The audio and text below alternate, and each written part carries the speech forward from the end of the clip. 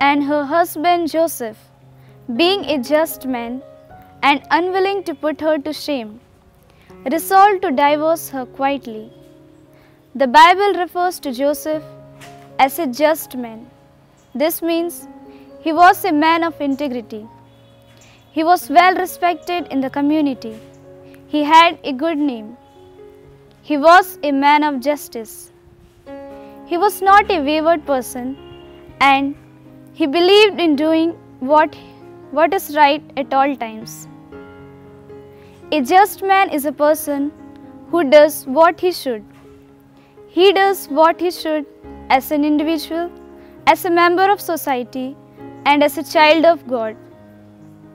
In fact, the Bible often treats justice as a kind of summary of all the virtues. A just person puts his or her relationship with God before all else in life and cares for people as God would care for them. A just person is someone who just reflects God's compassion. We all know the story so well. Joseph was about to marry a beautiful young girl, Mary. Then he learned that she was pregnant. He was shocked. He must have been heartbroken. His life must have appeared to be shattered. Now, the Jews' law would come to the aid of a man in this situation.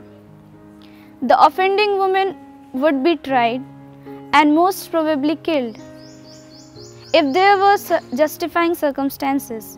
But she was lucky. She would be cast out of society and treated with disrespect the rest of her life. An outcast forced to beg for food for herself and her child. But Joseph was just. He was compassionate. He asked himself, What would God want me to do? Then he made the decision to protect Mary, even though at that point in his mind it appeared that she had offended him. He would send her away where she could be safe. But an angel appeared to him in the dream. He was not to expose Mary to the law. He was certain that God couldn't possibly want that to happen he would send her away to a distant relative where she could live somewhat of a normal life with the child. Joseph is one of the greatest saints.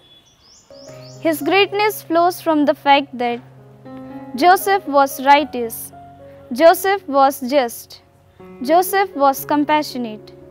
Today, as we celebrate the feast of Saint Joseph, let us pray to Saint Joseph to be righteous, to be just, and to be compassionate. Happy feast to all.